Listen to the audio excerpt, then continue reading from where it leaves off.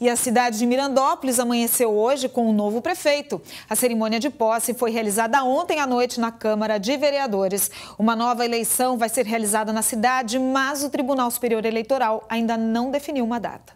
A sessão tinha hora para começar porque a urgência conduzia à solenidade de posse do então presidente da Câmara Municipal, Carlos Everton Ortega Sanches, que assumiu nesta quarta-feira a prefeitura no lugar da prefeita Regina Mustafa, que teve a chapa caçada no mês passado. Pretendo utilizar esse tempo que estiver ali à frente da prefeitura para poder ajudar a nossa cidade, a nossa cidade a voltar a crescer, a voltar a se desenvolver, tentar implantar aqui no nosso município uma política moderna, uma política humanizada, uma política mais voltada para pessoas e não para números.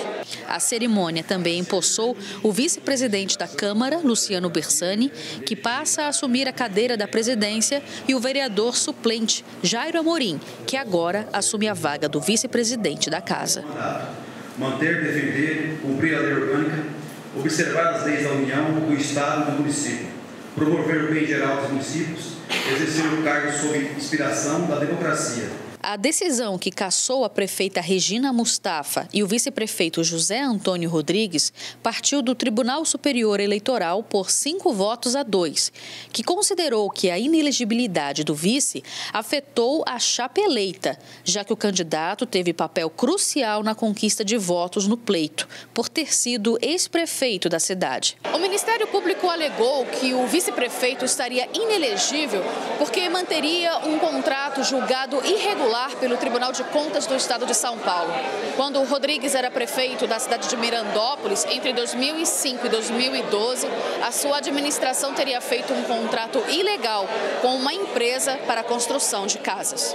A questão do Zé Antônio já era algo de conhecimento de todos antes da eleição acontecer. Né? E mesmo assim a chapa foi adiante, sabendo e assumindo o risco de acontecer essa contaminação da chapa com essa cassação. Ao tomar posse, os novos eleitos pediram ajuda divina para orientá-los nas tomadas de decisões nos novos cargos. Um pedido que vai além das paredes do legislativo. Em frente à Câmara Municipal, o símbolo da fé do povo da cidade.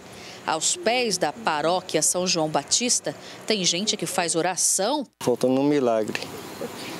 Ah, para ver se arruma a cidade aqui. Os bairros, tudo, as ruas tudo cheio de buraco. Não tem condições. Tem emprego. Hã? Cadê o serviço? Onde é que tem? Certo? Então não tem como. A defesa da prefeita e do vice-prefeito informou que irá tomar as providências quanto aos recursos ainda cabíveis.